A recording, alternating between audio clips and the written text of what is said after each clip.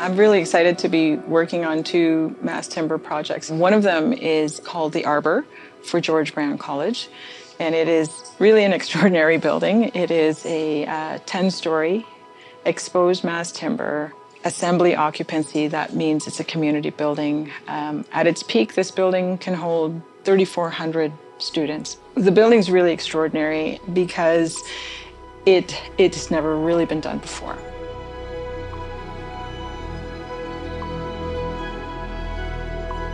The George Brown process was really considered one. They decided that the building needed to be future proof. It needed to be low carbon, meaning mass timber. It had to look at these innovative renewable materials. On top of that, they were looking for design excellence. And that's where we began to team with Acton Ostry Architects out of Vancouver because Acton Ostry Architects are the architects of the Brock Commons tall wood building at UBC.